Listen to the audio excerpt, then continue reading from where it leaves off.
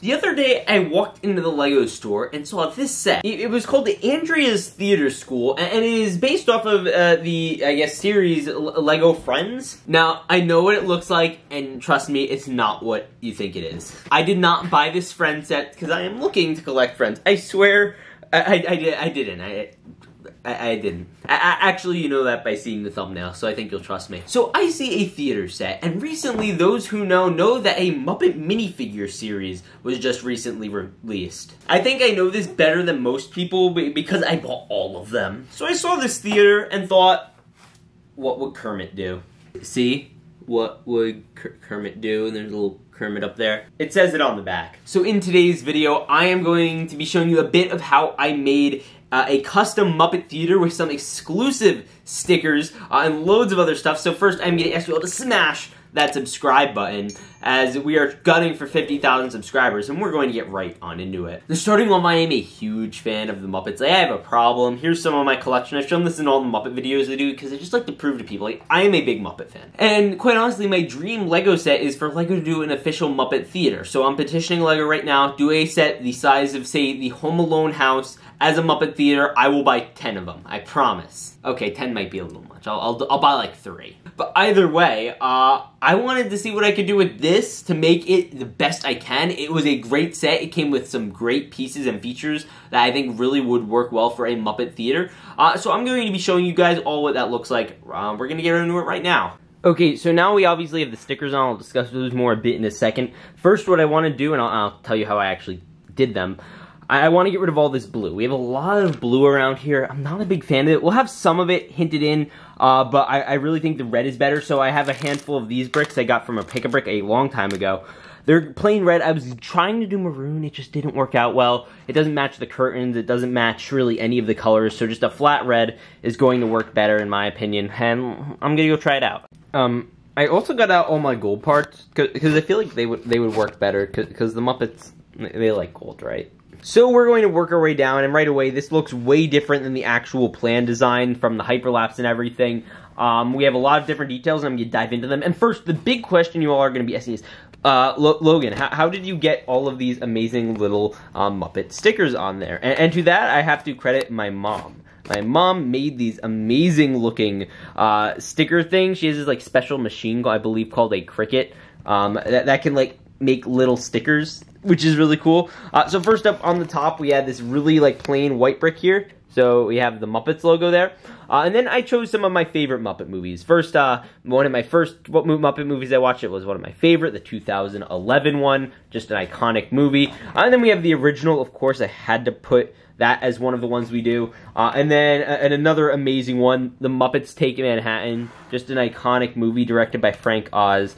Uh, really Good. Uh, so, so you're noticing a few things right off the bat. Like, where is all the blue that was up here? Now, I replaced it with red uh, and gold. Ironically, I didn't have any gold plates because I was just going to do that. But I found these little studs, uh, so it ended up working out well. We also have a little lamppost here. I used some gold bricks down on the floor level. We also have the Muppet Show right there at the entrance instead of using whatever stickers they gave.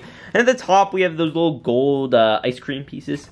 Uh, so that's there. That's kind of cool. Uh, and then at the front, we have one of Beaker's clones uh, accepting tickets. So if you want to go up and they, they have tickets there. Um, right here, so that's pretty cool. Uh, and then you can, of course, enter the theater. Uh, theater. I probably should have changed the doorknobs, but honestly, it works just fine. And as a whole, this thing on a street, it looks kind of dumb, like from literally any angle other than the front, unless you open it up, obviously, which is what we're going to do.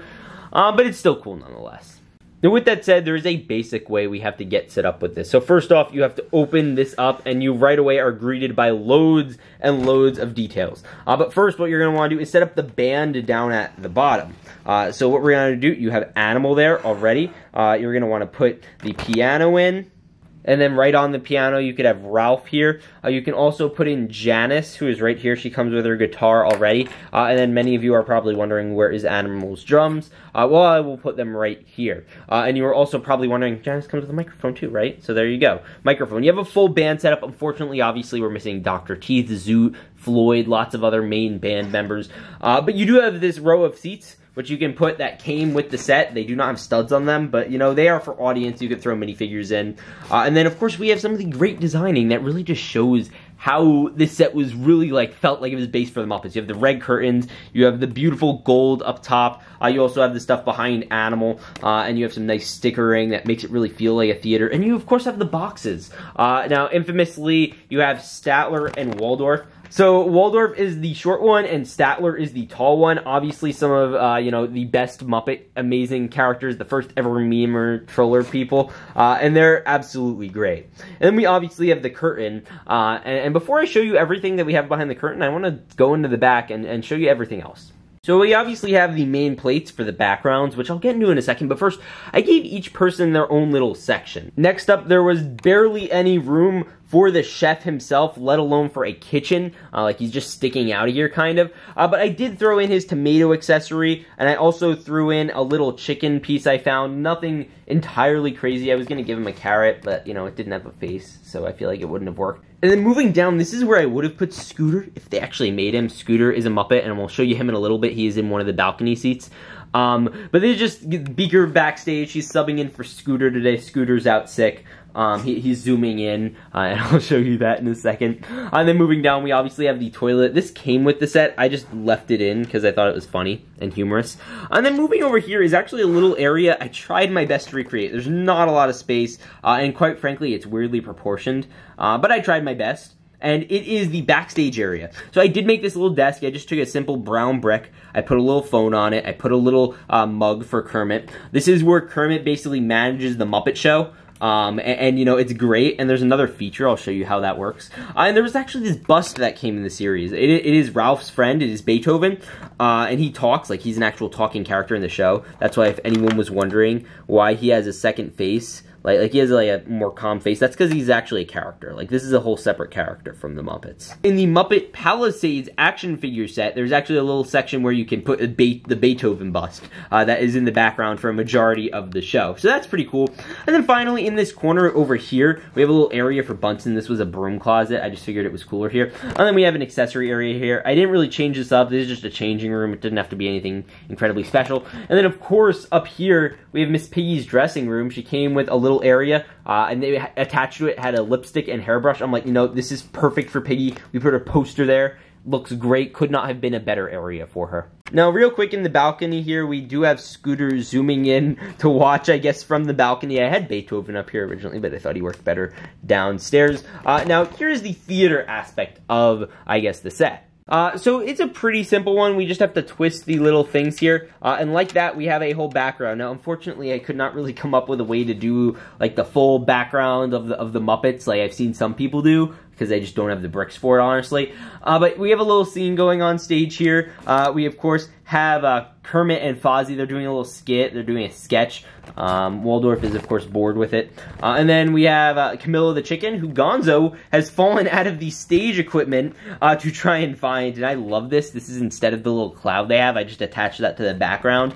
and then we had Gonzo instead, just, just flying down, which is just such a quintessentially Gonzo thing uh, and, and I absolutely love. In fact, if you want, you could actually take out this piece, uh, and this is basically what it looks like. I think it works perfectly. You could really do it for anything. I think a particularly good feature, if you want to have, say, the Muppet sign that lowers, where Gonzo comes in, like, honks his nose or whatever uh, at the beginning of each Muppet you show theme, or does, like, something crazy, you know, you could do that technically with that, and that's very cool. What do you get when you cross a penguin with a pig? A polar boar! Ah, waka waka!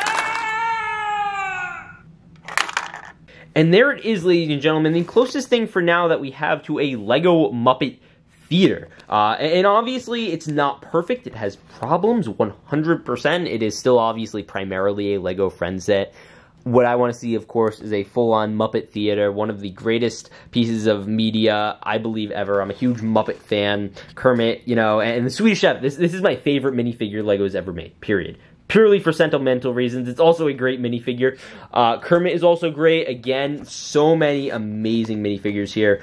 Uh, you have the band down there. Obviously, there needs to be a Series 2, if not just a theater, uh, where they are able to do everything, because this is not enough. We need Sam Eagle. We need the rest of the band. Uh, and, and, quite honestly, if there are no BrickHeadz of Kermit and Miss Piggy in the near future, I am going to freak out and, and start a riot. So, so Lego, please, please do it. Uh, thank you. Overall, for all my Muppet fans out there, this is an amazing solution to getting a Muppet theater. I am confident we are going to get one in the very near future, seeing how well this minifigure series did. Uh, and let me know down in the comments if you want to see more Muppet related videos. I am happy to make them. This is one of my favorite things to do. The unboxing of the CMF still did really well. I hope this does too. But with that said, I will see you all in the next one. Remember to peace out and stay awesome. Light! Light! Light! Light! Light! Light! Light! Light! Light! Light! Light! Light! Light! Light! Light! Ah! Light! Light! Yeah! Light! Light! Light! Light! Light! Light! Light!